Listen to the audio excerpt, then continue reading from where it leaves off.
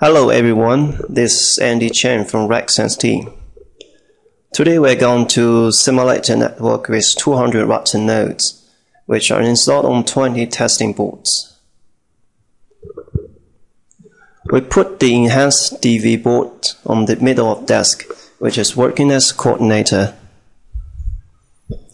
Now we open the software Network Assistant we can see the information of uh, coordinates and this node router nodes connected. We can select any parameter from the right side and click the button Read All on the toolbar. Network Assistant will quickly search and list all online nodes. It will keep searching for about 10 seconds. It is fast for a network with 200 nodes. Now we can find 201 nodes at left side of software, including one coordinator. It shows we can easily reach 200 nodes at one time.